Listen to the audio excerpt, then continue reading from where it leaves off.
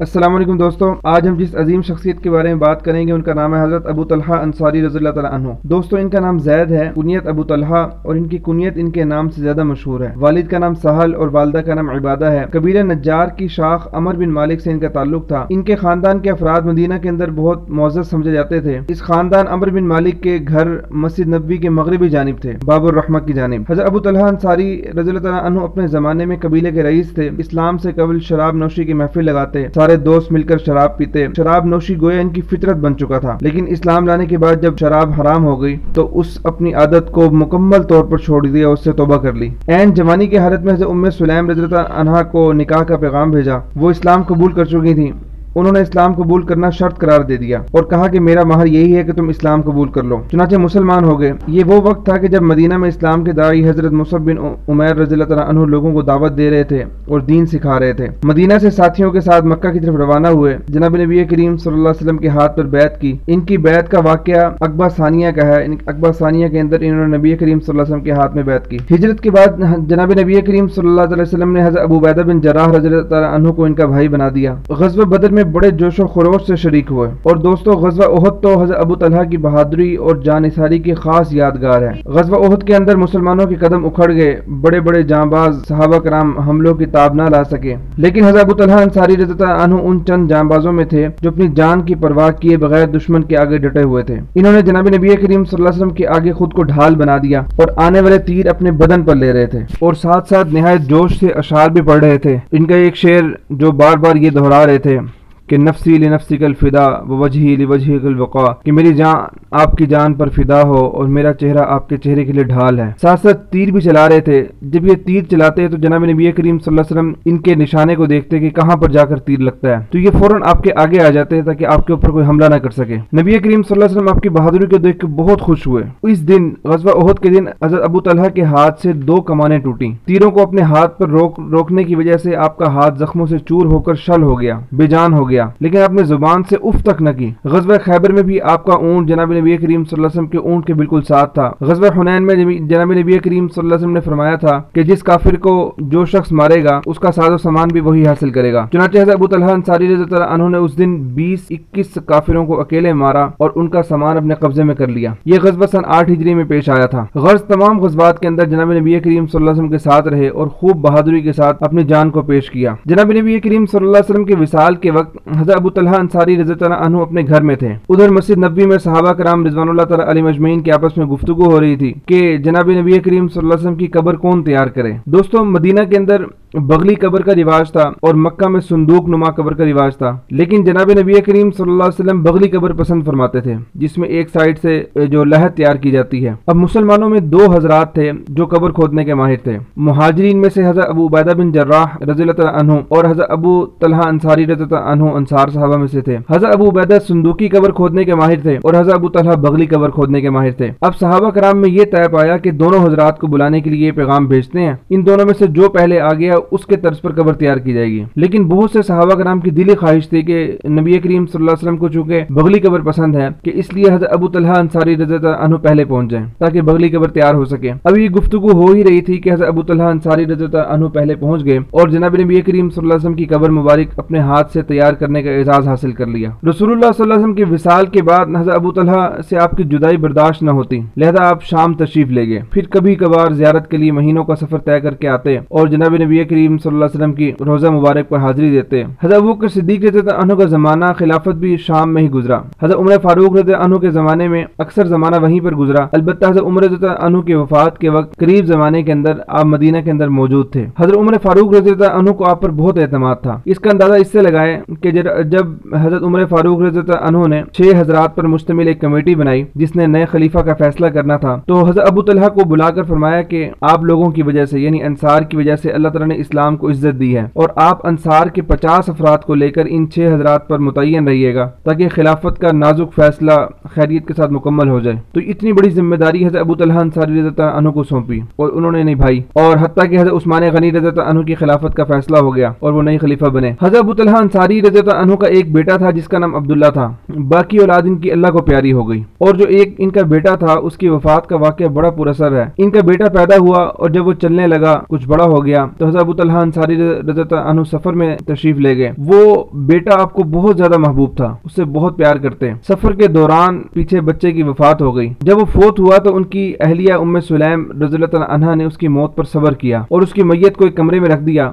हज़रत अबू तलहा के आने का वक्त हो चुका था। तो उन्होंने कहा कि मैं खावन को अचानक वो घर पहुँचेंगे तो उनको इस बात से सदमा होगा बेटे की वफात से। तो उन्होंने अलग एक कमरे में रखकर, कोठरी में रखकर अपने खाविन का इस्तेकबाल किया। और उन्होंने बेटे के बारे में पूछा तो बीवी ने जवाब दिया कि वो पहले से बेहतर है। और होता भी ऐसे ही है कि जब ईमान वाला दुनिया से चला जाता है तो दुनिया की ज़िंदगी से बेहतर आखिरत की ज़िंदगी है। और बच्चा तो वैसे गुनाहों से पाक होता है। तो कहने लगी कि वो पहले से ज़्यादा बेहतर है, पहले से ज़्यादा सुकून में है। उनको खाना पेश किया और मियाँ बीवी ने रात को इकट्ठे सोए और मिलाप हुआ। हज़रत उम्र सुलैम फरमाती है कि मैंने हज़रत तलहा से कहा कि एक बात तो बताएँ। अगर किसी ने कोई चीज़ किसी के पास आरियतन रखवाई, कुछ अर्सा तक वो चीज़ उसके पास रही, फिर रखवाने वाले ने किसी को भेजकर वो चीज़ वापस मंगवा ली तो क्या उन लोगों को परेशान होना चाहिए? हज़रत तलहा ने कहा, नहीं, बिल्कुल नहीं होना चाहिए। हज़रत उम्र सुलैम अनहा ने फरमाया कि तो फिर सुने, आपका बेटा अल्लाह के पास चला गया। अल्लाह ने उसे वापस बुला लिया। हज़रत ने पूछा कि, इस वक्त वो कहाँ है? उम्र सुलैम अनहा ने फरमाया कि, वो अंदर कमरे में है। चुनाचे हज़रत ने जाकर उसे देखा, इन्ना व इन्ना पढ़ा। और ये जनाब नबी करीम वसल्लम को जाकर बताया। तो नबी करीम वसल्लम इनकी अहलिया की समझदारी और उनके सब्र को सुनकर बहुत खुश हुए और आपने उनको बरकत की दुआ दी। नबी करीम वसल्लम ने फरमाया था कि जब बेटा पैदा हो तो मेरे पास लेकर आना। चुनाचे आपका बेटा अब्दुल्ला पैदा हुआ और जनाब नबी करीम वसल्लम ने फरमाया था कि जब बेटा पैदा हो तो मेरे पास लेकर आना। चुनाचे हज़रत अनस रजत फरमाते हैं कि मेरी वालदा उम्म सुलैम रजत अनहा ने, क्योंकि हज़रत अनस जो थे, उम्म सुलैम रजत अनहा के बेटे थे और उनकी परवरिश जो थी हज़रत अबू तलहा अंसारी रजत अनहो के साय के अंदर ही हुई। तो फरमाते हैं कि मेरी वालदा ने उस बच्चे को जब बच्चा पैदा हुआ तो मेरे बाजों पर रख दिया और मैं उसे नबी करीम वसल्लम की खिदमत में ले गया। हजूर अकदर ने फरमाया कि मेरे पास तीन अजवा खजूरें लाओ। मैं लाया तो आपने चबा कर उस बच्चे के मुँह में डाली। बच्चा ज़ुबान से उसे चूसने लगा। तो हजूर पाक ने खुश होकर फरमाया कि ये अंसारी है, इसीलिए तो इसे खजूरें पसंद है। फिर फरमाया कि जाकर अपनी वालदा से कहो कि अल्लाह पाक तुम्हारे लिए इस बेटे में बरकत अदा फरमाए और इसे नेक और मुतकी बनाए। चुनाचे हज़रत सुफियान कहते हैं कि मैंने एक अंसारी को कहते सुना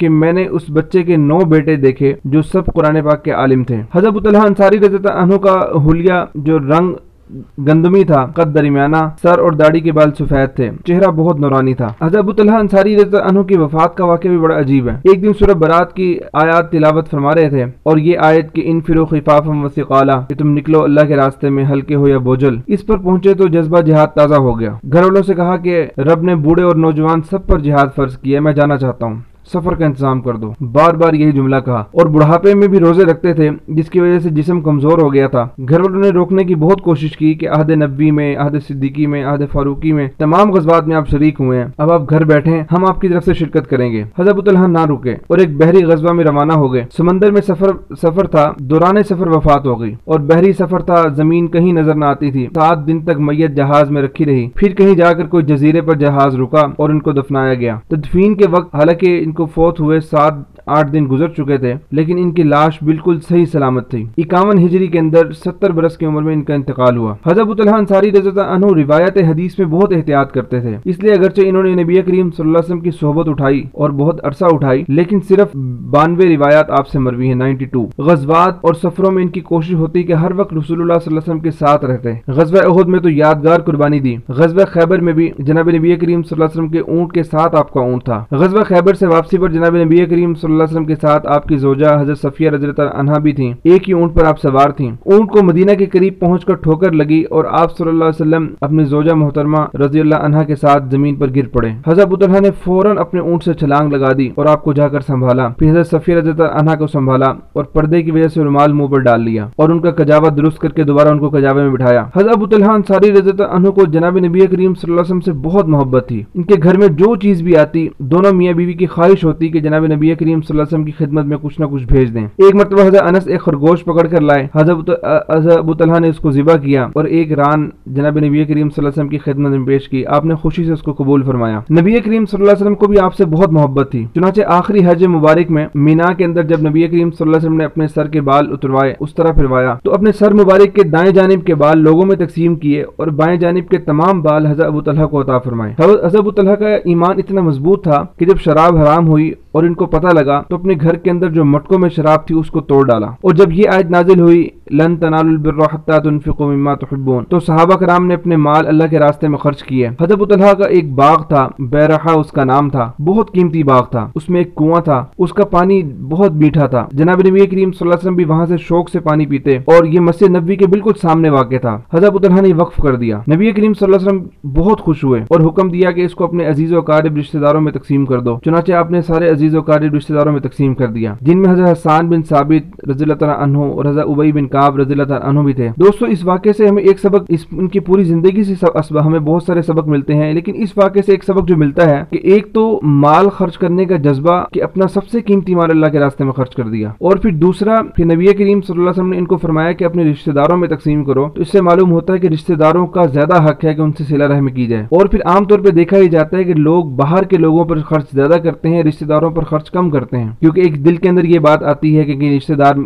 ज़्यादा अमीर ना हो जाए, ज़्यादा मालदार ना हो जाए। इंसान की कोशिश होती है कि खानदान के अंदर मेरा माल ज़्यादा बढ़ता रहे बस। तो अब ये एक तो अल्लाह के रास्ते में इन्होंने इतना कीमती माल खर्च किया और फिर वो भी सारा अपने रिश्तेदारों के अंदर तकसीम कर दिया, इतना कीमती माल। इससे मालूम होता है कि इन हजरात का ईमान कितना कामिल था। इनके एक और मशहूर वाक्य भी है कि एक मरतबा एक शख्स जनाब नबी करीम वसल्लम का पास हाजिर हुआ। उसके रहने का कोई इंतज़ाम ना था। तो आपने फरमाया कि जो इसको मेहमान बनाए, अल्लाह ताला उस पर रहम फरमाए। तो हज़रत उसे अपने घर ले आए। खाने में कुछ भी ना था, सिर्फ़ बच्चों के लिए कुछ खाना रखा हुआ था। तो हज़रत तलहा अंसारी उन्होंने अपनी बीवी उम्म सुलैम रजरत अनहा से कहा कि बच्चों को बहलाकर सुला दो और चिराग ठीक करने के बहाने बुझा देना। हम भी फर्जी तौर पर मेहमान के साथ मुँह चलाते रहेंगे। मेहमान पेट भरकर खाना खा लेगा। उन्होंने ऐसा ही किया। जब सुबह नबी करीम वसल्लम की खिदमत में हाजिर हुए तो नबी करीम वसल्लम आपके इस अमल से बहुत खुश थे। अल्लाह पाक ने वही के ज़रिए आपको इतला दे दी थी और कुरान पाक की आयत आपके बारे में नाजिल हुई कि अनफुसहिम वलो कान अबिहिम खसासा। कि वो अपने ऊपर औरों को तरजीह देते हैं, खुद अगरचे तंगी की हालत में हों। और फरमाया कि